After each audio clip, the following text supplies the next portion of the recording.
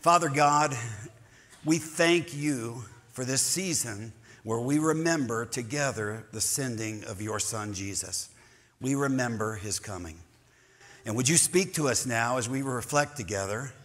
Uh, we want to hear from you, from your word, from your Holy Spirit, uh, words that would challenge and encourage us. This we ask in Jesus' name. Amen.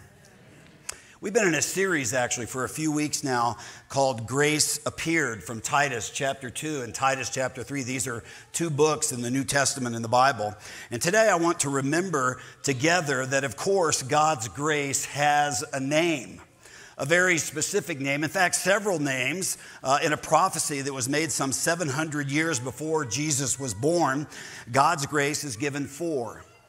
Four very significant names, names that help us understand who Jesus is and why Jesus came. The prophet Isaiah said this He said, For to us a child is born, to us a son is given, and the government will be on his shoulders, and he will be called Wonderful Counselor, Mighty God, Everlasting Father, Prince of Peace. And I thought this would be a good moment as we gather here to reflect on these names. So let's think about the first one Wonderful Counselor. You know, when I hear that name, I have to admit, at first I have kind of some mixed uh, reactions to that.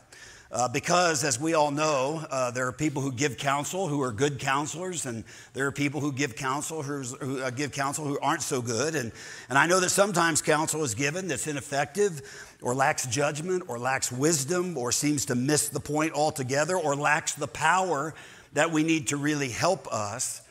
But what Isaiah says is that one is coming who is going to be a fully, truly wonderful counselor.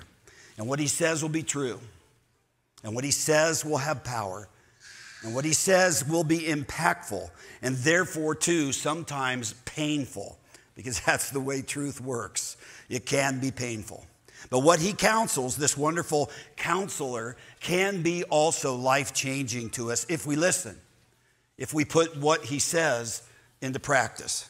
His counsel will help us become more self aware, more honest, more forgiving, more loving, more of the servant to others that we ought to be. His counsel changes people, it changes perspectives, it changes values, it changes spiritual orientations, and it changes people's hearts. It changes how they work, it even changes why they work. It changes how they do their marriages. It changes how they parent their children. It changes how they look at other people and how they serve and how they give and how they love others, even those who are difficult to love. And interestingly, this counselor makes his wisdom available not just to presidents, not just to kings, not just to potentates, but to every rank and file human being who is humble enough to ask him for his wisdom. That wisdom is available to you and me. And I've got to tell you, I really do believe this. This is what all of us not only need, but deeply desire in the innermost places of our hearts, our lives. I believe this counsel, Jesus' counsel, his wise counsel, is what is needed to rightly understand ourselves and to grasp the glorious purpose for which we were made.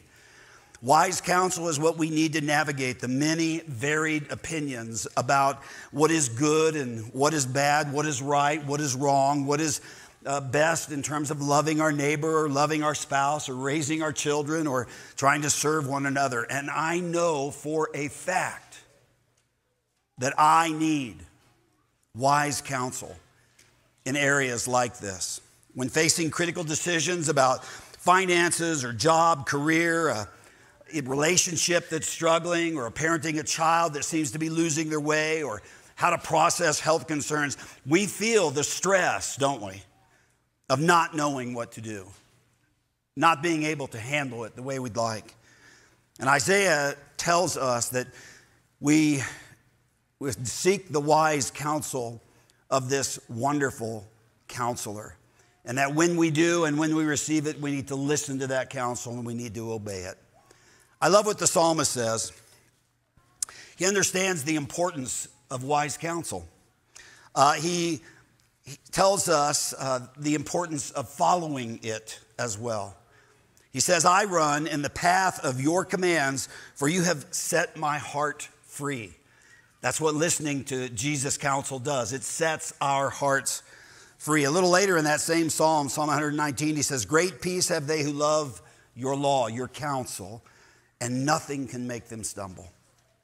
When our lives are built on Jesus' counsel, our lives have gravitas, they have weight, they have stability. Jesus said this one time to a group listening to him. He said, Therefore, anyone who hears these words of mine and puts them into practice is like a wise man who built his house on the rock. One of the reasons Jesus came to earth was to give us wisdom and to give us teaching and to give us counsel, counsel that we could, quite frankly, build our lives upon. Now, Isaiah doesn't stop there. He gives Jesus, this one who comes, another name. He gives him the name Mighty God. And of course, if you think about it, this is truly, truly remarkable. This name would have been very controversial to Isaiah's listeners. To say someone is coming who's going to be a wonderful counselor, well, that's great. Wise counsel is always needed, isn't it? That's good news, but, but that name in and of itself would not necessarily turn any heads. But to call the one who would come, this would be the Messiah, the anointed one, to call this one mighty God, that would raise some eyebrows. That would get people's attention. If from the time of Isaiah's prophecy we run the clock ahead about 700 years on the evening that Jesus was born, we are told that angels announced the birth of Jesus and they declared that the Messiah had in fact come, had been born. And in Luke chapter 2, they say, Today in the town of David, a Savior has been born to you. He is Christ, Messiah, the Lord. They tell us too that his name will be Emmanuel which, of course, as you know, means God with us. Angels tell us that this baby who's born will be called Jesus because he will actually save his people from their sins. And this all points to Jesus' true identity that he is, in fact, God, mighty God. And then when you run the clock forward about 30 more years from the time of Jesus' birth, what was it that finally got Jesus killed? It wasn't his healing ministry, wasn't even his teaching ministry or the miracles that he performed. It was his claim, this claim right here to be God. At Jesus' trial in Matthew 26, we read this. It says, The high priest said to him, I charge you under oath by the living God, tell us if you are the Christ, the Son of God. And Jesus replied, Yes. Yes, it is as you say. And when he said that, the place went kind of nuts. The high priest, we're told, tore his clothing. The other Pharisees and priests who were there started howling, and shortly after that, the beating started, and then the crucifixion followed. And I don't know, I don't want to go down this rabbit trail too far, but I think you all probably know that people like Muhammad or people like Confucius or people like Buddha never made any claim whatsoever to be divine, to be God Himself.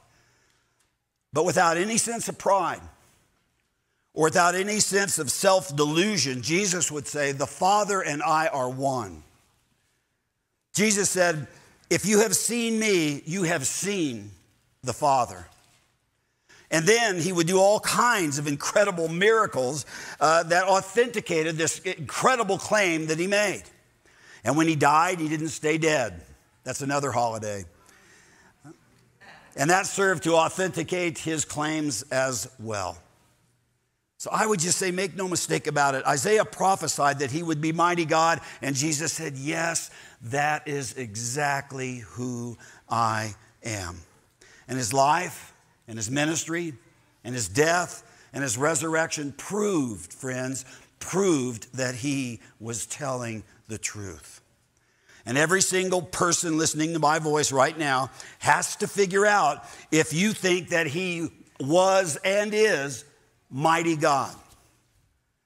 And if he was, and if he is, then he should be mighty God in your life. And this is the central issue of the Christian faith. This is the crux, if you will, of Jesus' teaching. This is the thing that makes Christianity so offensive to many. You see, Jesus wasn't just a nice religious guy. He wasn't just a loving person. He wasn't just a good neighbor or a terrific teacher or a healer or a miracle worker. He was and is mighty God. And that means that we must humble ourselves before Him and submit to Him. His wisdom and His counsel must guide and govern our lives if we intend to follow Him. Now, following him also means that because he is who he claims to be, because he is Almighty God, he actually can save us. He actually can change us. He actually can do something about the mess of me and the mess of the world that I live in and contribute to. And that's exactly what Jesus came to do. That's what we followers are frankly staking our lives upon that the one who came, the little baby who was lying there in a feed trough, because he is mighty God, one day he will bring with him his kingdom in all of its fullness, which means that perfect justice will be done. It means that truth will reign. It means that love and goodness and righteousness and kindness and gentleness, all of these things will reign supreme because He will reign supreme. All evil will be punished and wiped away, and that will be the glorious day, frankly, that all of our hearts, whether we even know it or not, this is what our hearts long for that day. Now, Isaiah doesn't stop there. He mentions two more names. The third one is Everlasting Father. He says, uh, friends, he says, every child in every family desperately needs the love of a father and mother. This is kind of a given. Moms and dads who make commitments to each other and to their children to love them, to protect them, to raise them, and then keep those commitments. That is what every child needs. Uh, psychologists tell us, sort of like they discovered this, chuckle, chuckle, but psychologists tell us that a child develops their early identity from the love and care of their parents. I read a report from a child development expert who said this, and I quote It is unlikely that any child will ever reach adulthood healthy and whole unless some older person in his or her life demonstrates irrational and consistent love toward them. And that's probably true. But here's another truth not very many people get that. Some of us here didn't. I can't tell you the number of times that I have sat with both men and women and listened to awful stories of dads who got up and left, or dads who were too busy, or dads who were so broken themselves they didn't get the help that they needed. And so they ended up wounding their children and passing on their sin, and moms too. The Bible says that every one of us is born with, in fact, a deep yearning for a dad, especially a spiritual heavenly father who the Bible says made us in his image. I think another way to say that is to say that all of us long to be connected to and identified by our true heavenly spiritual father. A father whose unrelenting and consistent love would define us and help us understand who we really are, who we're really meant to be. It, it is such a blessing to have a father and a mother who love us, uh, one of the greatest blessings in life. But the fact of the matter is, none of our earthly parents are capable of giving us what our hearts and our souls long for most deeply because they are like us fallen, broken, imperfect, sinful and, and they don't get it all right. If you've parented very long, you know that's true. You don't get it all right. The Bible says that the truth about you and the truth about me is that we have an everlasting Father, a Father with perfect love, a Father with perfect wisdom and perfect goodness, perfect righteousness, perfect wisdom, perfect justice. And this Father, get this, get this, wishes to be with us all the time in this life and right on into eternity. And I'll tell you, we need Emmanuel, God with us, as desperately as I think we need air to breathe. And it's my joy to tell you, to remind you tonight that This God is here. He's with us. He's among us. He's available to you. That is why Jesus came. That's what Advent season is all about grace appearing. When Jesus appeared in that manger, he was a gift of grace. If you receive him, he'll be your wonderful counselor. He will be your mighty God. He will be your everlasting Father. And one more thing the last name Isaiah mentions a Prince of Peace. Peace is not a terribly complicated concept. We talk about peace a lot international peace, personal peace, peace of mind. But here's the thing without God in the equation, we have a heck of a time gaining any sense of peace in this world on just about any level you can think of, whether it's personal peace, family peace, peace at work, peace inside a nation, international peace. There are typically lots of dissonance and hatred and discord and violence. You know, in the last century alone, some 90 million people died on battlefields. How do you think we'll do statistically in the century in front of us? Do you know there are over 20 million soldiers in the world? Why all these boots on the ground? Well, of course, to keep peace, right?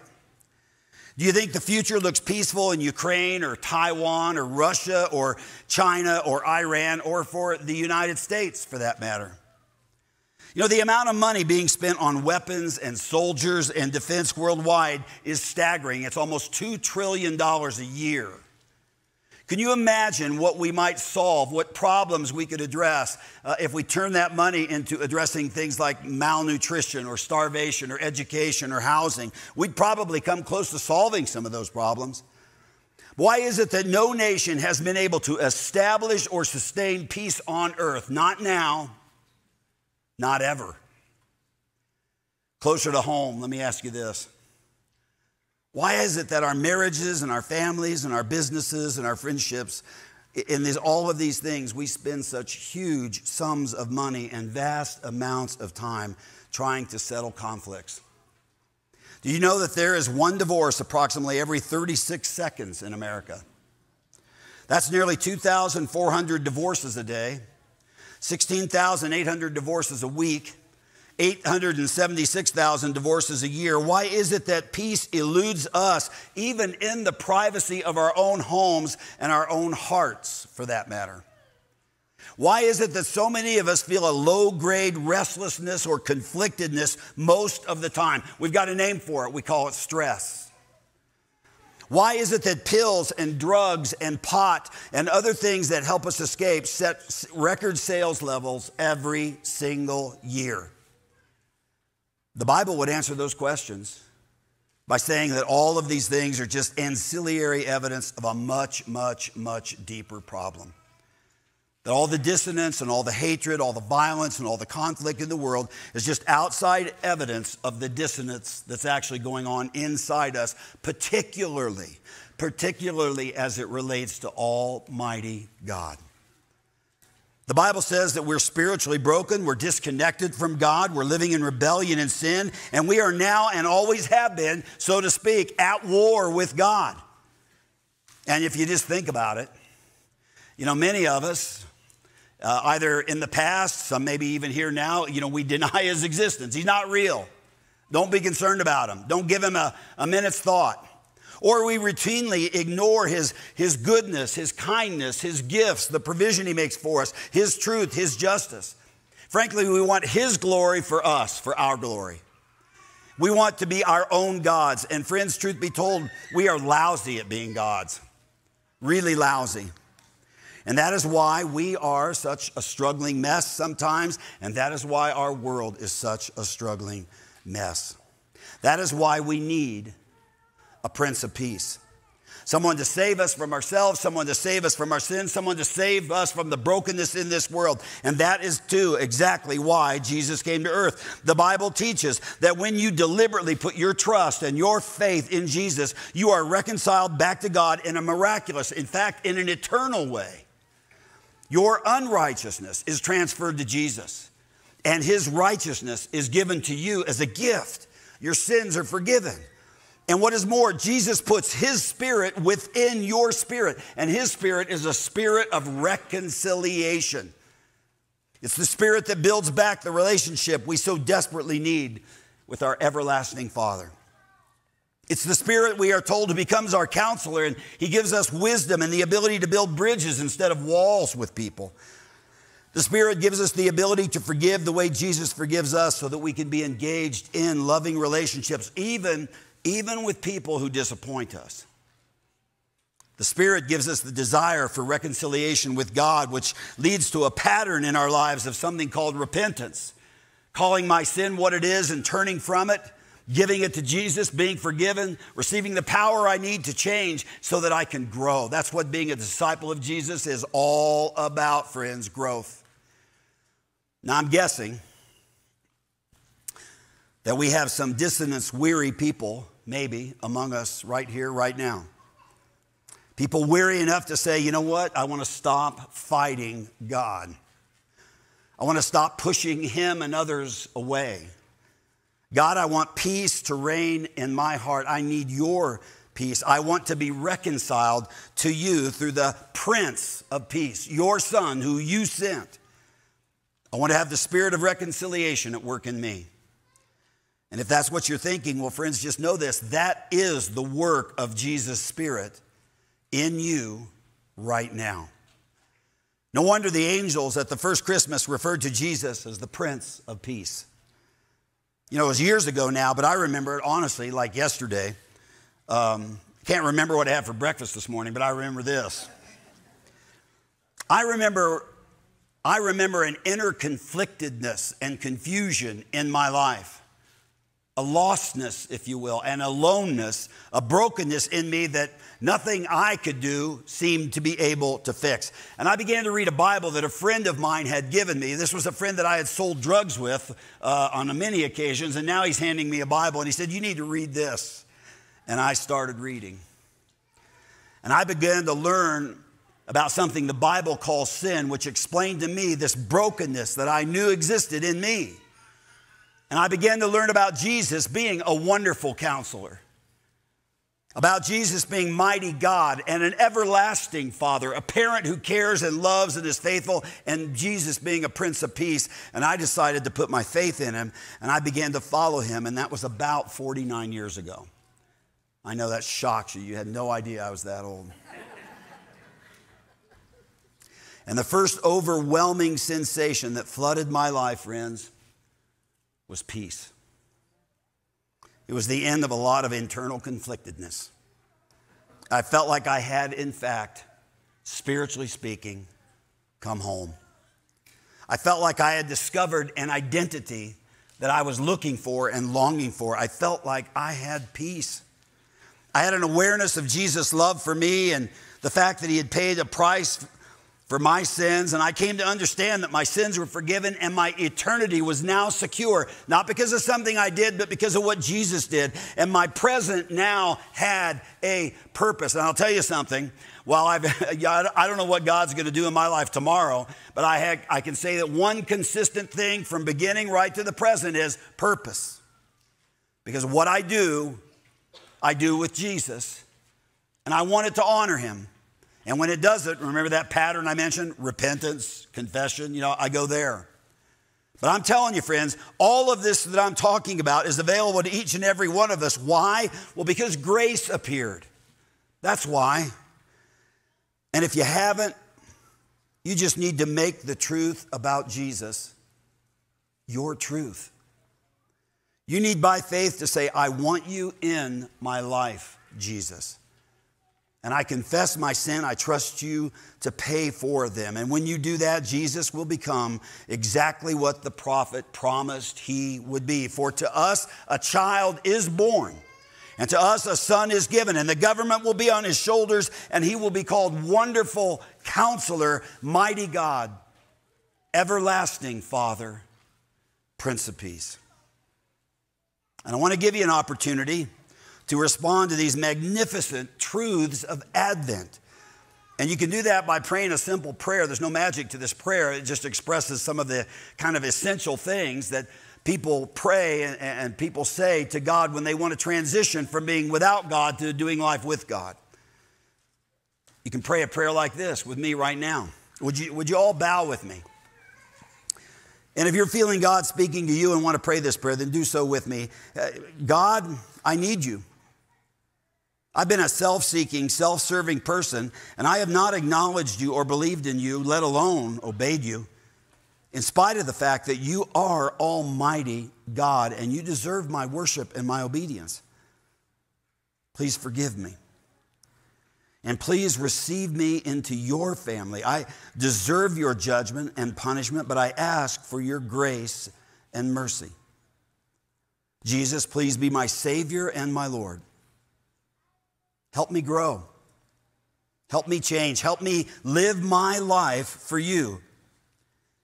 Make this Christmas the beginning of a whole new direction in my life. This I pray in Jesus' name. Amen. And I'll tell you, if you prayed that, there's two things. Number one, you got to tell somebody. You really need to. Somebody you came with, somebody that you know who walks with Jesus, who attempts to. You need to tell somebody so that they can pray with you, for you, encourage you. And there's a second thing you need to do you need a church. And uh, you may live here in this area, uh, or you may not. If you don't, I'm sure there's a good church near you. But you need a church because you need other Christians who are equally as imperfect as you are, but they're trying to figure out what it looks like to walk with Jesus and to honor him and obey him, and what it looks like to love their neighbors. And that's why you need.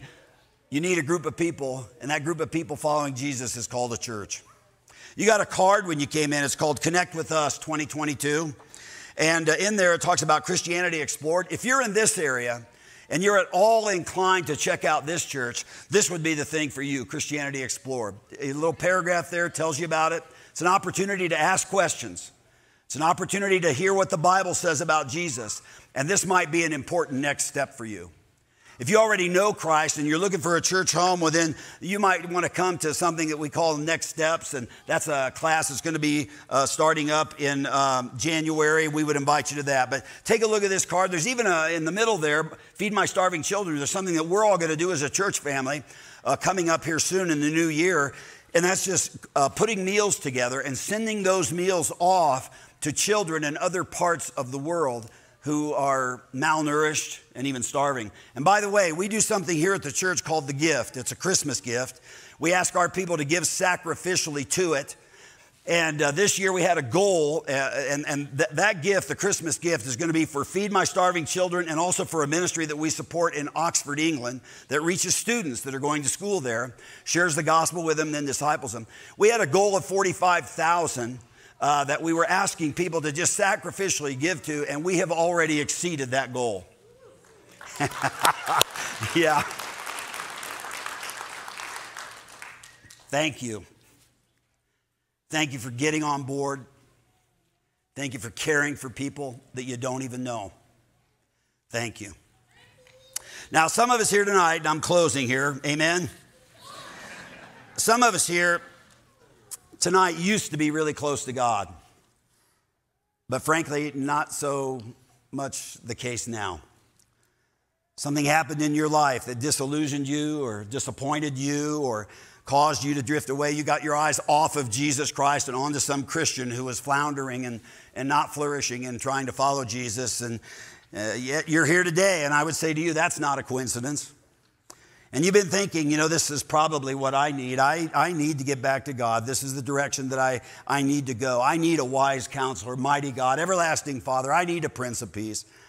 And this is the counsel that I want to build my life upon, Jesus Christ. Well, tell him that. Tell him that tonight. And purpose to walk with him and to listen to him and to obey him. Now, others here this evening have walked with Jesus for a long, long time now, and you're just kind of filled with joy because of the season, and you've got family with you, and that's a mixed blessing, is it not? Amen. You got family with you, and you're looking forward to celebrating, and Jesus has made all of that happen, and you just want to worship Him. So let's do that right now. Let's worship Him.